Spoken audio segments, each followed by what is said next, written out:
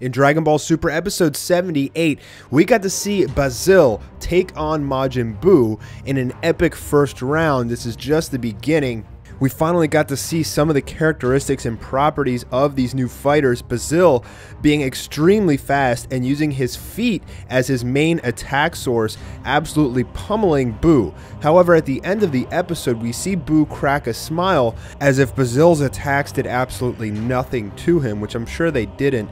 Going into episode 79 preview, we see the battle continue as Buu throws a series of energy blasts at Basil. He's finally beginning his counterattack, yet Basil is just blocking all of them with his feet.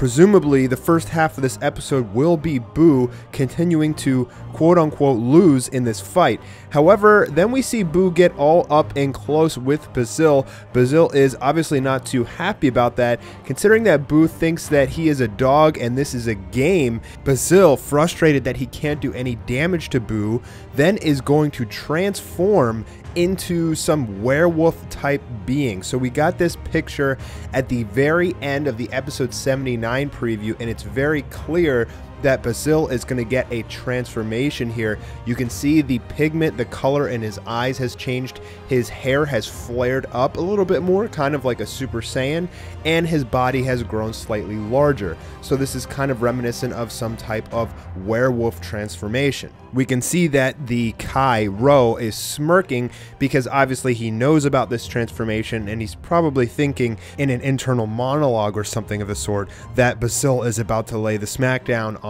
Buu.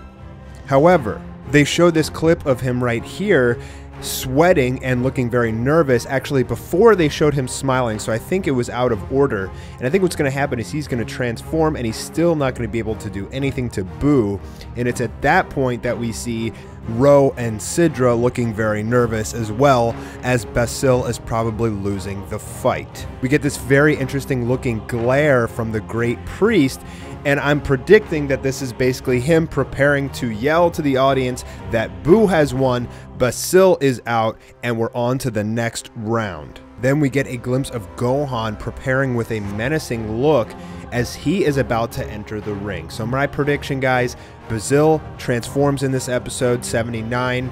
He's still not able to do anything. Buu ends up winning the fight, and then Gohan is up next. And that image, that really awesome looking image that we got of Gohan right here, is him taking off his glasses, punching his fists, and get, getting ready to jump into the ring. And that's how episode 79 is going to end, with episode 80 preview should give us some glimpses of Gohan fighting against Lavenda, which I am extremely excited about.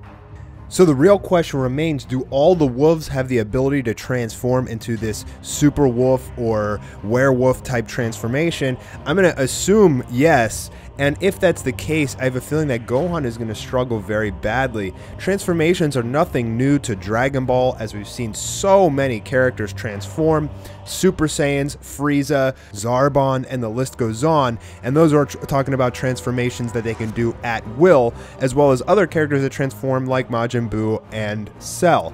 So transformations are nothing really new here. I think it's very possible that the strongest three fighters from a universe would have some type of transforming ability in order to gain a strength boost. And I think that's definitely what we're going to see here. So while we saw Goku smashing Bergamo from the trailers and the clips that we got, I have a feeling that Bergamo is going to be able to transform into a hulking beast, and it's actually going to be a really good fight with Goku against Bergamo in the end. But I have a feeling now that Lavenda is going to transform and he is going to beat Gohan, pushing Gohan to go into training mode after this tournament, considering that he feels like he almost got his entire universe destroyed. So guys, I'm not going to be making many videos this week. I am knee deep in Anime War Episode 2. I really, really want to get this done by the 24th of February. So I probably won't be making a lot of videos this week unless we get some major spoilers or breaking news information that comes out. So just be patient with me, guys. I'm working really hard on Anime War. The whole team is. We're going to bring you a fantastic episode that you can rewatch a hundred times. I promise you that much. Have a wonderful Monday, guys, and I will see you soon for some more videos, maybe the middle of the week, maybe next weekend, but taking a little break from videos to grind Anime War out. So have a wonderful day, everybody. Thanks for all your support, and I'll talk to you soon. Peace.